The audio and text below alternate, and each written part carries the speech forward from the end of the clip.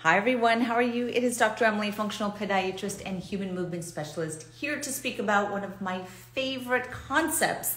And a concept that was not taught to me during podiatry school, but is something that, as a movement specialist, or for any of the trainers, coaches, therapists out there, I think it is pivotal to understand. And that is the muscle tuning theory.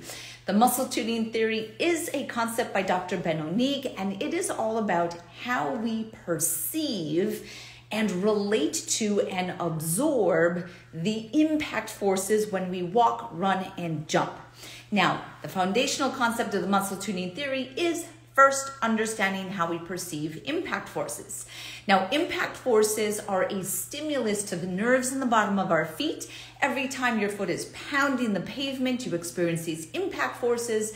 But the actual perception or the stimulus that you feel is not pain, not force, not pressure, but it is vibration. So, thinking about something like a tuning fork often helps people to understand this concept of the muscle tuning theory and impact. So, impact forces are vibration. So, when you think about our relationship to vibration when the foot strikes the ground, the next question that I want to ask you is how do you absorb vibration? How do you absorb impact forces? Now, why this is important is because the way that we absorb impact forces is actually the way that we store and use the energy of impact forces. Now, it's important to understand that impact forces is your body's potential energy. So, when I walk and I run and I jump and I strike the ground, impact forces comes in, that is your energy.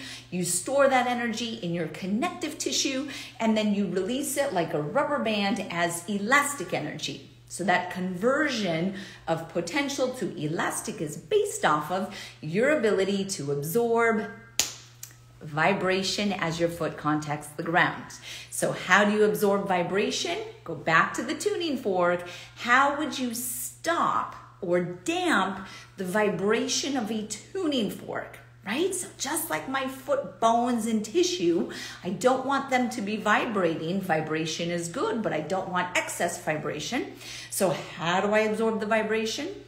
How do I stop the tuning fork from vibrating? What do you do? You you touch it. You touch it, you clamp, you contract into it.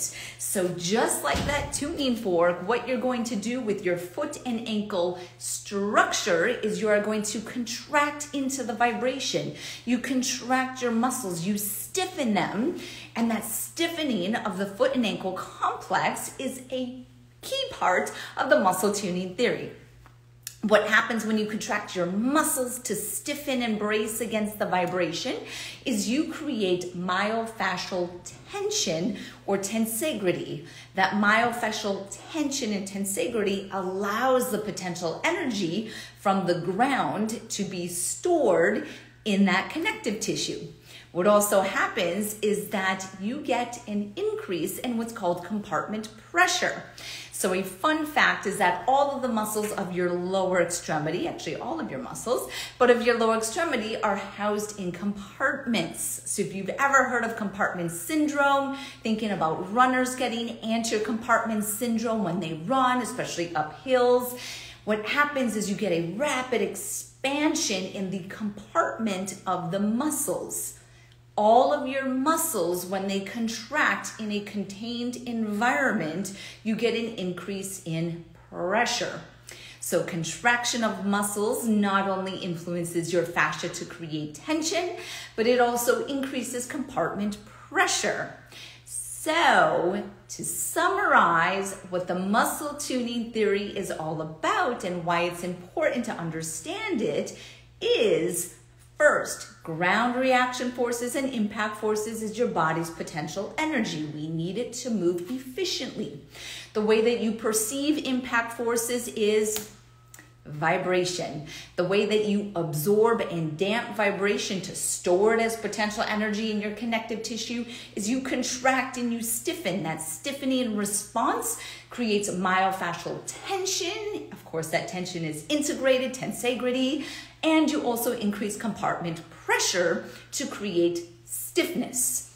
Therefore, the stiffer your foot and ankle complex is at foot contact, the quicker you get off of the ground and the more efficient you move, and you are utilizing the vibration of ground reaction forces. If you want to learn more about impact forces and this relationship between the feet and the ground and the nervous system and the myofascial system, then please do check out the Muscle Tuning Theory by Dr. Benno Nigg. If you want to look at any of the education that I've created around this, then please go to ebfaglobal.com. And if you are a patient and you are experiencing impact related injuries and you want to learn more about how to improve your relationship with the ground, then please visit my website, dremilysplichal.com. Stay barefoot strong, and I'll talk to you soon.